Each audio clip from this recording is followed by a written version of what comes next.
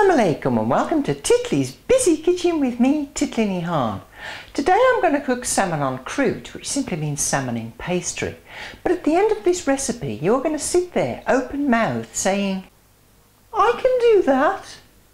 There's enough here for two to three people depending upon how hungry or how greedy you are. I've got a 350 gram piece of salmon fillet that's been skinned, 250 grams of ready-made puff pastry or you can use short crust pastry, that's up to you. 125 grams of low-fat cream cheese because my diet starts today. The juice of half a lemon and the grated zest of half a lemon and a quarter of a cup of fresh dill or a tablespoon of dried dill. We'll start off by mixing together the cream cheese, the juice and the zest of the lemon and the dill to make a sort of creamy sauce. There's just something about lemon and dill with salmon.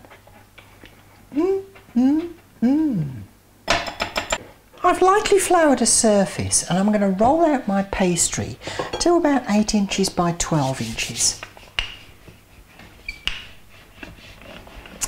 Okay, that looks good.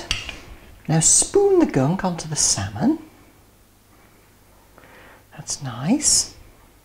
Then take your piece of salmon and put it gunk side down in the middle of your pastry. Then brush the edges of the pastry with some water. Now we're going to wrap this like we'd wrap a parcel. So fold that up, fold up this side, brush plenty of water onto the edges because you'll have some excess flour on there. Fold over the corners, press them down.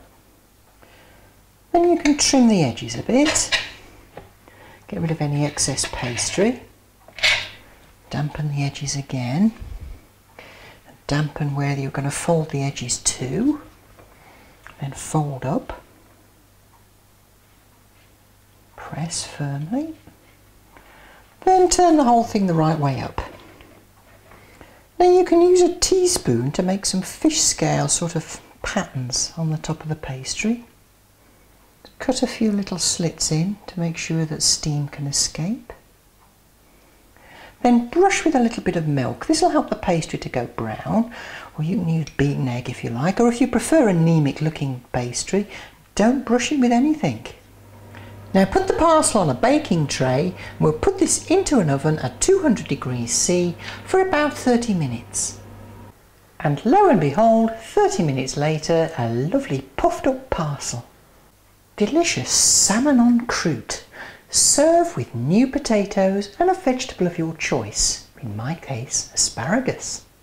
The great thing about that recipe is it's so versatile. You can add almost anything you like into the cream cheese.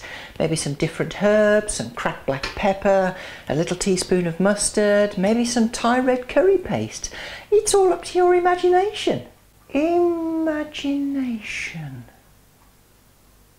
Nope. Next time in Titli's Busy Kitchen with me, Titli Nihan. Until next time, Huda.